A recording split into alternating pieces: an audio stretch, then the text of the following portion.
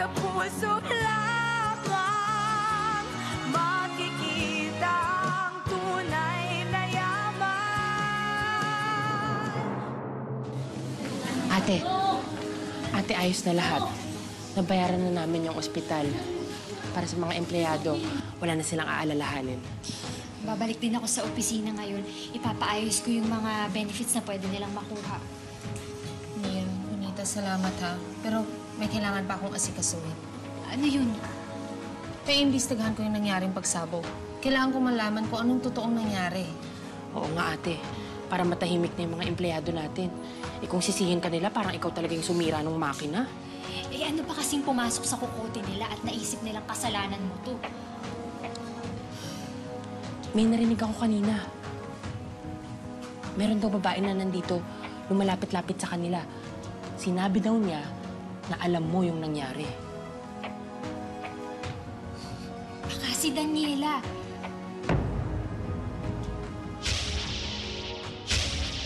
Hindi si Daniela yun. Kundi yung kaibigan niyang si Savannah. Kailangan ko siyang makausap.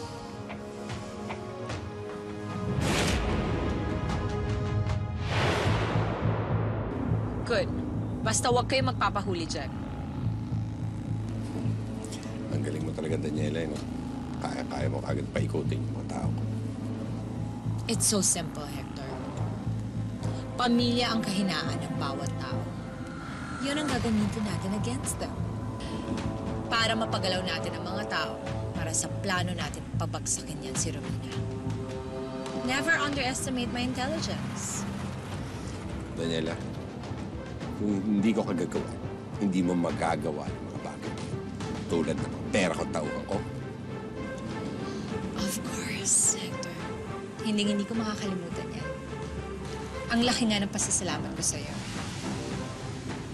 Kaya kagaya ng pangako ko sa'yo, pagbabayarin natin si Romina sa lahat.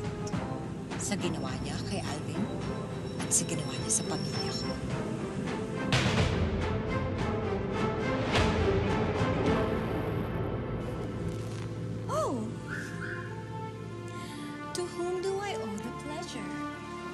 Sabihin mo sa akin, anong pinaplano niyo ni Daniela? I don't know what you're talking about. Sinungaling ka. Huling-huli kita. Pinagkakalat mo sa ospital na kasalanan ko nangyari sa pabrika. Because it's the truth. I mean, ikaw yung may-ari, so kasalanan mo. Kung sabihin mo na may ginawa na naman kay ni Daniela, biruin mo na una ka pa sa ospital kaysa sa akin. I was just passing by. Sinungaling! Ma'am, ma'am, tawag po kayo ni sir. Ah, hindi, sige, sabihin mo, susunod na ako. What are you doing? You have to leave now. What are you doing? What are you doing? Gusto mo bang sabihin ko sa asawa mo ang pinagkagawa mo? Wala nga akong ano doon. Ba't sabihin mo yan sa harap niya? Romina! Sinungaling! Romina! Just leave now! Sa isang kondisyon. Ano? Ano? Kahit ano? Huwag ka nang mga elam sa away namin ni Daniela. What, Romina? Isang beses pa, sa bahay. Hindi ako mangingiming na kausapin ng asawa mo. Tandaan mo, kung ayaw mong madamay, kang sumusaw.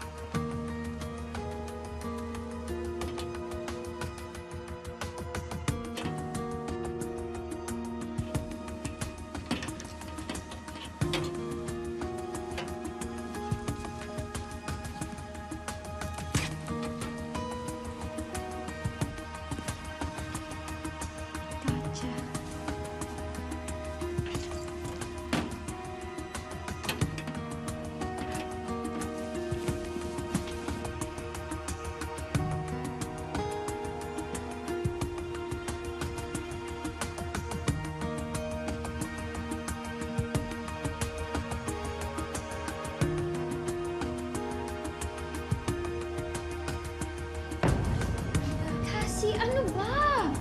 Ginulat mo naman ako eh. Kaninong cellphone yan? Kay Roxanne. Kinuha ko sa locker niya. gamit sa cellphone ni Roxanne? Diba sabi ko naman sa'yo, ako nang bahala kay Roxanne. Pero Marga, Kasi pinagtakpan niya yung tatay niya kapag hindi natin ito ginawa ngayon. Baka hindi na natin mahanap kung nasa si Hector. Nabuksan mo na ba yung mga messages niya? Ito na.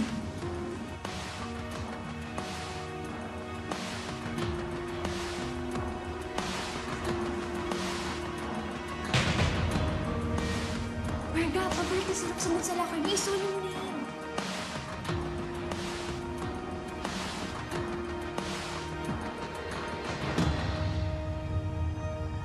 Galing dyan si Romina. She knows, Danny. Alam na ni Romina na may ginawa tayo sa pabrika. Paano? Nakita niya ako sa ospital. My God, Savannah, napakasimple na lang ng gagawin mo. Well, Danny, I didn't know na darating siya agad. Sige na, sige na. Hayaan mo na yan. Ang importante, wala naman siyang proof. Na hawak. Let's just move on and prepare for phase two. I'm sorry, Danny, but I can't help you anymore. Romina warned me.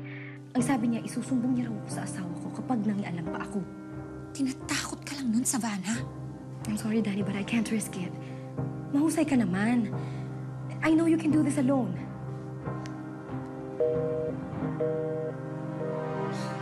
So si Savannah nga yung sumira sa'yo sa mga taga-pabrika?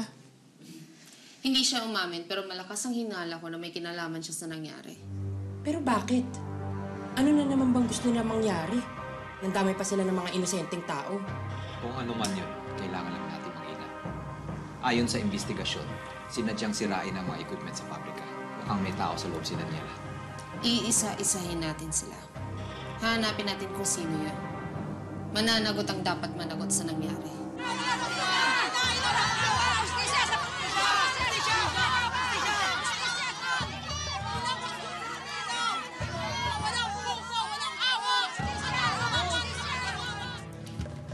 Mina, Mina. May mga tao nagwawala sa labas. Bakit anong nangyari? Nag-uwelga yung mga tao sa labas. Galing daw sa pabrika. Ano? Ma'am, handa na ho ang lahat. Good. Hindi na pwede magkaaberya. Panahon na para dispatchahin niyo yun si Romina. Yes, ma'am. Anong ginagawa ng baliw na yan dito? Tawagin niyo nga yung babae. Kunin ninyo. Siya uutusan kung pumatay kay Romina. Sige na.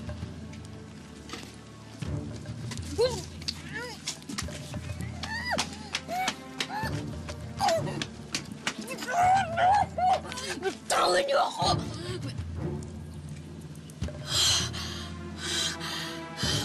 Ikaw, relax, Eva. Hindi kita sasaktan. Iniwan mo ako. Muntik na akong hulihin ng polis. Are you saying? Ikaw ang nang iwan sa akin. Anong kailangan mo? Gusto mong patayin si Romina? Mm, Oo. Oo, gusto ko yan. Gusto ko yan. Good. Dahil nandito ako para tulungan ka. Paano ang daming tao? Gagawa kami ng gulo. Tapos pag nakita mo na wala na nagbabandi kay Romina, tum! Tum na siya tapusin.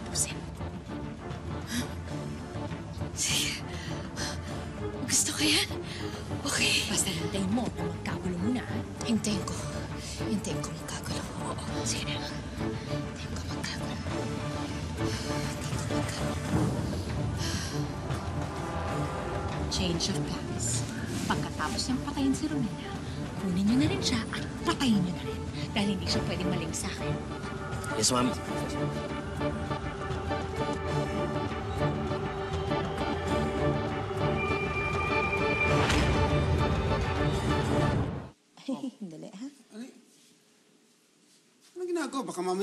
Pilaya niyang anak ko eh. Okay na, okay na. Hala. Ito naman. Baka naman kasi nakakalimutan mo, no? Tatlong anak mong inalagaan ko. Ay, iba ito si Carlitos. Hindi mo ito anak. Ano kalimutan mo? Nagalit ka dito eh. Wala ka nga sa buhay mo. Saan ka pupunta? Sa Camila, eh, dadala ko na tanghalian si Carlos. Baka mamaya hindi na naman kumain yun dahil sa nagtitipid. O eh, gusto niyo bang sumama?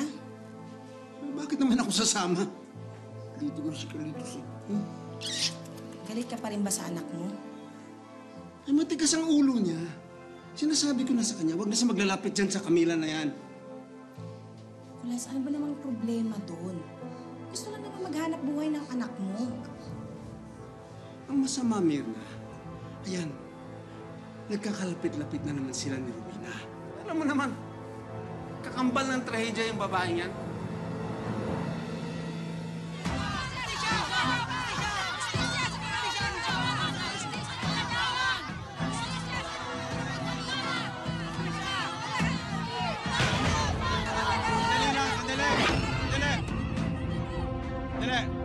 Inayos na ho namin ang mga hospital bills ng mga nasaktan. Wala na silang dapat ipag-alala. Hindi yun ang problema namin, sir! Yung kaligtasan namin!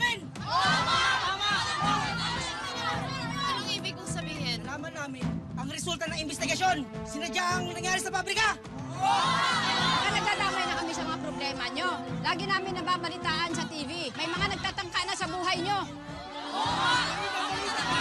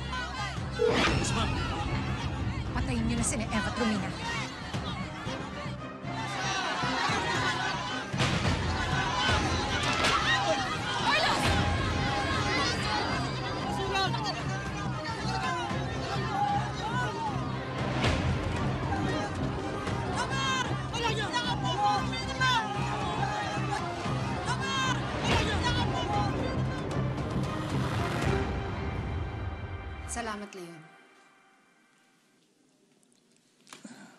Romina, tapos na ba yung kaguluhan sa labas? Nahulo ba yung humampas sa akin? Hindi. Nag-uwian na rin ang mga nagwelga. Carlos, kumusta ang sugat mo? Ayos lang ako. Kayang-kaya ko to. Salamat. Hindi na kailangan. Kulang pa tong kabayaran sa mga atrasong nagawa ko sa'yo. Ate, nandito si Miss Wang. What can I do for you, Miss Wong? Sorry, Mrs. Mondragon. My superiors informed me that there's something down here, and they're very worried. So they sent me here to check on the situation. Well, there's nothing to worry about, Miss Wang. What happened here was just a big misunderstanding between the workers. Are you sure? Kasi iba yung umabot sa amin. Bang umabot sa inyo? Na may problema ang company niyo. At tinatago niyo ito sa mga future investors and partners. Grabe naman yung fake news na yan. Saan niyo naman ho nakuha yan? Well, I just got a call from somebody a while ago. She didn't introduce herself, but she warned me about our future partnership deal. And she seems to know a lot about you. Mukhang marami kaming kailangan pag-usapan ng kausap. May I get her number? Sure.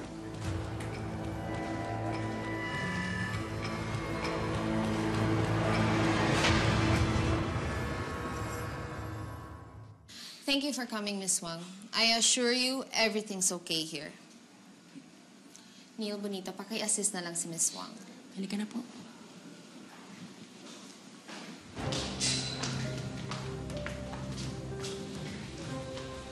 Nasaan ang asawa ko? Nasa opisina ko. Kumusta siya? Paano mo nalaman na may nangyari sa kanya? I have my ways. Okay, so nakasalubong mo si Miss Wang. Do you know her? She's the manager of Leeton Groups. Hindi ko siya kilala at wala akong balak kilalanin siya. Really? Binanggit niya kasi sa akin na tumawag ka daw sa kanya at binabalita mo na may nagwuwelga dito sa pabrika. What? You think chismosa ako? I told you, hindi ko siya kilala. Hmm? Okay. Tingnan natin. Why the hell are you calling me? Hmm, bakit mo ito ginagawa, ha? Ano ba talagang gusto mo? Sasakal ako! Nina! Crazy woman is trying to kill me! Then sumusobra ka na.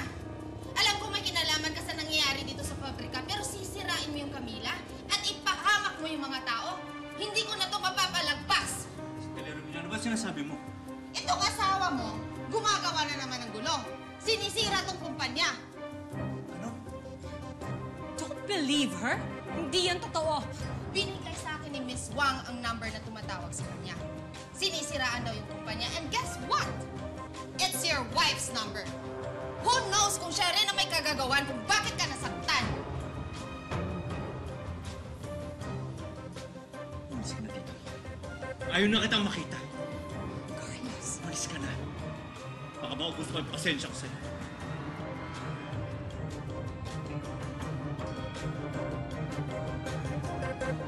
Tingin mo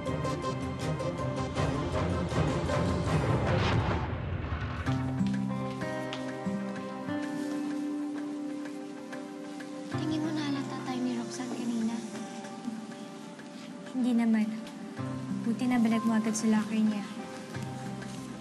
Good. Don't worry, kukunin ko ulit yun. Marga, wag mo nang gagawin yun. Baka mamaya mahuli ka ni Roxanne. Ikaw pa'y mapahamak. Kasi I don't care. Ang importante, makuha natin yung number ng tatay niya. Marga, sigurado ko may iba pa namang paraan. Really, Cassie? Sige nga, enlighten me. Ano yun? Paano natin gagawin?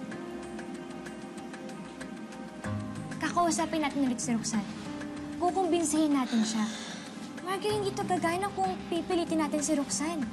Lalo lang siya mag-resist. Kasi tingin mo ba talaga makakonvince pa natin si Roxanne?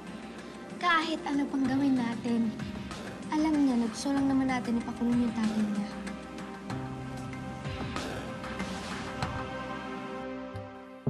Hector! Si Eva ba yun? Si Eva ba naririnig ko? Bakit dito yung babaeng yan? Sa isip ko. Baka kasi magamit pa natin eh. Gamit pa. Dinispatch ako na yung baliw na yan eh. Hindi maaasahan yan. Daniela, relax ka lang. Huwag mong pagbuntungan ng sama ng loob yung tao. Anong pagbuntungan? Ano akala mo? Hindi ko alam kung ano nangyari doon sa Belga sa kanila. Ano ka ba naman? Hindi natin napatay si Romina dahil nakialam niyang hinayupak mong asawa. Bitch, kaya nasaktan si Carlos dahil sa kanya. Kaya nga, hindi ka bumalik dito eh. Nagpaiwan ka doon sa Camila. O ano nangyari? Hiniwalayan ka? Di ba hiniwalayan ka na nung asawa mong yun? Asawa ko pa rin siya. Asawa mo? Yan ba,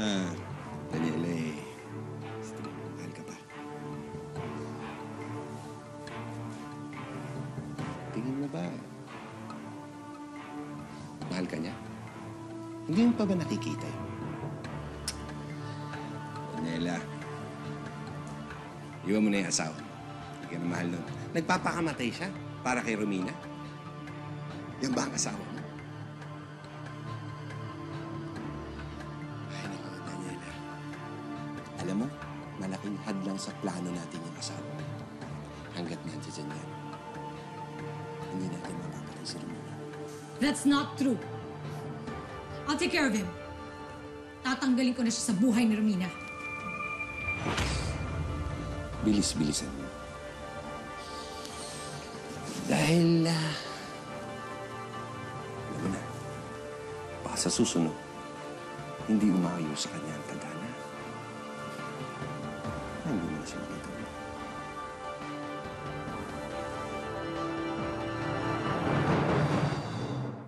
Yan. Yan ang sinasabi ko eh, Carlos. Wala ka pang isang linggo doon at yan ang nangyari sa'yo. Tingnan mo. Tay, tama na ho. Eh, nasaktan na nga si Kuya, sinisermonan niyo pa. Eh, tigas ng ulo. Sinasabi ko nang huwag kang dumikit sa babaeng yon, pero ayan. Tay, walang kasalanan si Romina. Desisyon ko na iligtas siya. Kaya ako lalo natatakot, anak.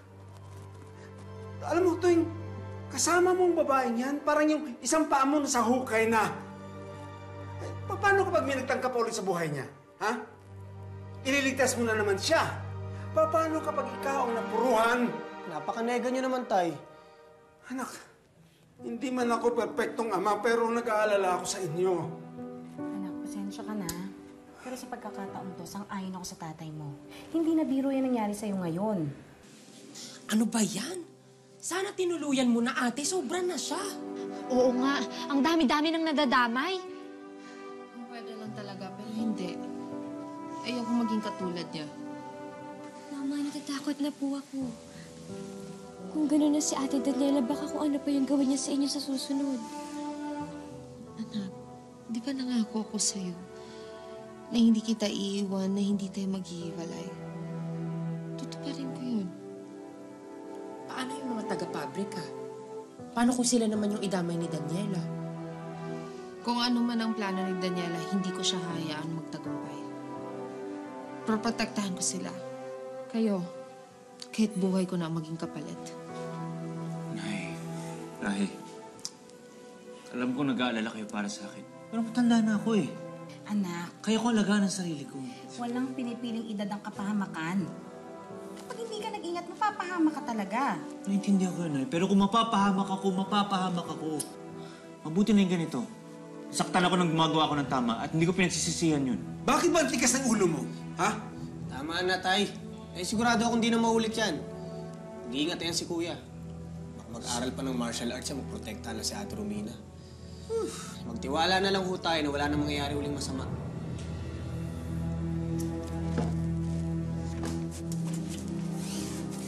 Heading somewhere, Mana? Dadalawin ko lang sana si... si Romina. Nabalitaan ko kasi yung gulo na nangyari sa Camila eh. I'm sorry, can't leave tonight.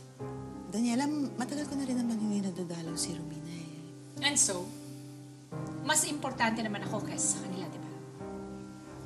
Daniela, Di ba, Manang? pareho kayong matimbang sa akin. Pati sa inyo? Kahati ko na rin si Romina. Daniela, Manang, inagaw na ni Romina ang lahat sa akin, pati ba naman kayo? Sige na, umalis na kayo. Sige na. Sige na, umalis na kayo. Daniela, may problema ka ba? Si Romina problema ko, Manang. Siya ang problema ko. Iniligtas ni Carlos si Romina nung nagkagulo sa Camila na never niyang ginawa para sa akin. Now, I'm convinced na totoong may affair sila. Daniela, hindi tama yung sinasabi mo. Imposibleng magkaroon ng relasyon si Carlos at si Romina. At bakit? Dahil mahal ni Romina si Cassie. Dahil hindi papayag si Cassie. Mahal ni mahal ni Romina si Cassie at hindi siya gagawa na isang bagay para masaktan ang anak niya.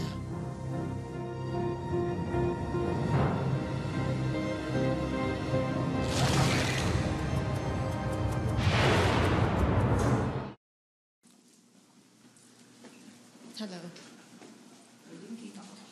Carlos, kumusta ng sugat mo? Um, ayos na naman siya. Carlos, hindi ka na sana pumasok. Romina, alam ko kasi maraming asikasuhin eh. Malapit na yung rebranding ng Camila, di ba? Mm-mm. Ayun eh, kung tutuloy mo pa. Anong ibig mong sabihin? Iniisip ko kasi na pakipagpaliban mo muna dahil sa daming gulo na nangyari. Carlos, hindi tayo pwede magpa-apekto. Kapag nalaman ng mga investors na may malaki tayong problema, baka maapektuhan ang buong kumpanya. Alam mo, tama ka, Romina. Napakahusay mo talaga. Kung alam lang ng mga tao yung mga sakripisyong ginagawa mo, hindi hindi mawawala yung tiwala nila sa'yo. Kahit anong gawin pa ni Daniela.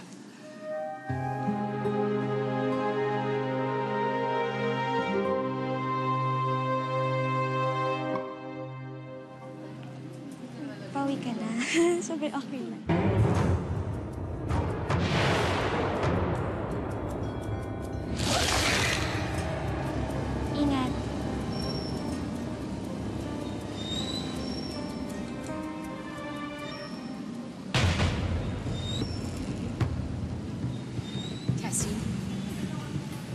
Can we talk? Tungkol po saan? Sa mama mo. Dito tayo sa tabi. Ate, kung may gusto po kayong sabihin, pwede po dito na lang. If that's what you want. Gusto lang kitang tanungin kung sinasabi ba sa'yo ng mama mo kung ano mga pinaggagawa niya sa opisina. Opo, ate. Sinasabi po ni Mama lahat sa akin. Pati po yung panggugulo na ginagawa niyo sa Camila. Hindi yan ang tinutukoy ko, Cassie. Ito.